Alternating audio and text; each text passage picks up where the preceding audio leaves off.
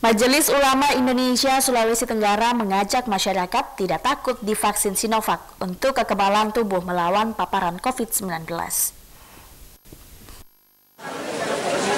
Penggunaan vaksin Sinovac yang dibeli pemerintah dari Cina masih menjadi perdebatan, sebab banyak informasi beredar memiliki risiko setelah penyuntikan. Majelis Ulama Indonesia MUI Sulawesi Tenggara Kamis pagi mengajak semua masyarakat tidak takut divaksin. Vaksin Sinovac sudah dinyatakan halal untuk digunakan.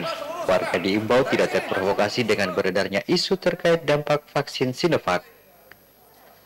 Menurut Ketua Majelis Ulama Indonesia Sulawesi Tenggara Kiai Haji Mursidin, vaksin ini untuk menjaga kekebalan tubuh dari paparan COVID-19.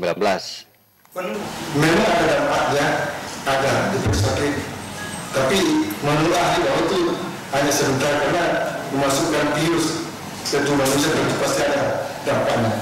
Seperti kalau kita waktu masih kecil diimunisasi sesuai biasa panas panas demam tapi waktu yang sangat terbatas sesuai itu tidak 20.400 dosis vaksin Sinovac telah tiba di Sulawesi Tenggara sejak beberapa pekan lalu. Tahap pertama, Dinas Kesehatan Sultra sudah mendistribusi vaksin Sinovac ke kota Kendari dan Kabupaten Konawe. Dari Kendari, Februno Tameng, News memberitakan.